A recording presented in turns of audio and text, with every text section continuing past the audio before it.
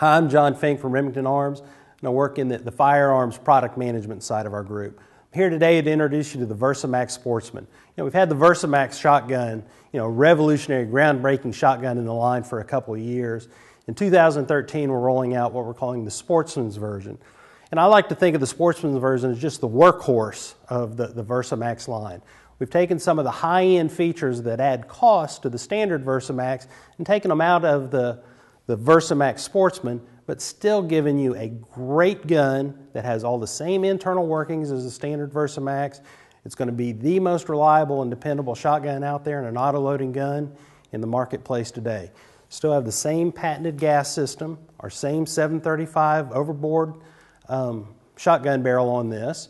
But you know, you can see, you know, starting with the stock here, you know, we've taken out, you know, our overmolded grip panels that we have in the, the standard Versamax, and we've taken out the comb insert on top of the comb.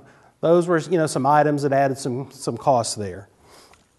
Going in, into the barrel, you know, we, have not gone with a, a, fiber optic sight on this, but have a front ivory bead on it, and we're shipping the gun with one choke tube, a modified choke tube. Great all around choke tube, but of course those are available, you know, through Remington Accessories.